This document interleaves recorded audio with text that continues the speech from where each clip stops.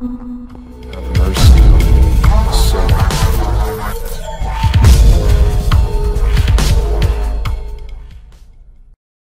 các bạn, rất vui gặp lại các bạn trong video clip ngày hôm nay. Hôm nay mình xin giới thiệu các bạn một cái mẫu cần lua máy đứng của thương hiệu Asino. À, cần à, Asino Hunting. Đây là cái mẫu cần lùa lua có chiều dài là 2m4 Cần Asino Hunting.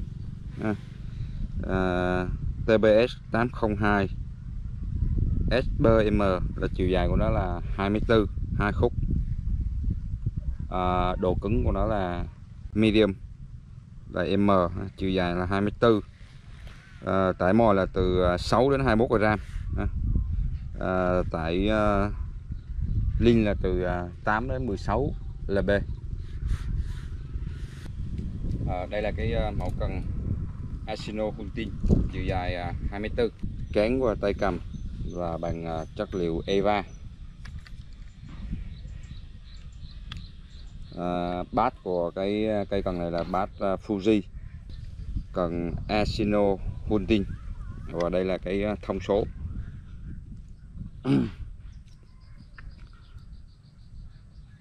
S802M à, chiều dài của nó là 24 độ cứng của nó là M. Linh là 8 đến 16 bao.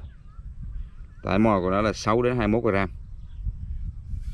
Và cái cần này là chất liệu carbon à, xoắn ít toàn thân luôn nha các bạn.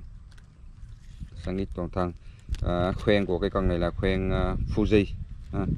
toàn bộ khoen là khoen Fuji. Đây là cái à, khoen Depa ha. Trên khoen nó có chữ uh, Fuji này các bạn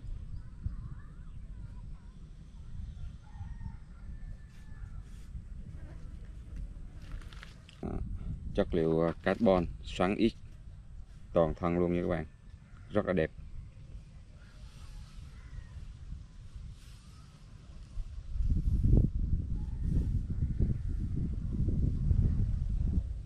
Cái ờ, đường kính đọt của cây này là 1.2 mm 1.2 mm cái con này ờ, có tất cả là 9 khoen nha các bạn.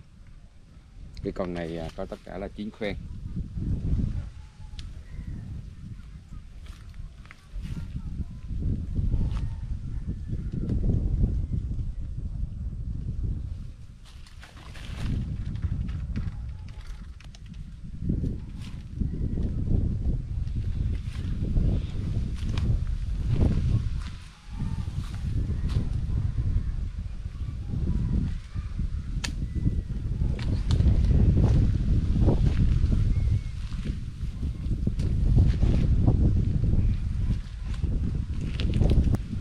Mình à, vừa review xong cho các bạn một cái mẫu cần lua máy đứng ha, chiều dài à, 2m4 cần Asino Hunti à, cái cần à, chất liệu carbon sắn à, toàn bộ là khoen Fuji.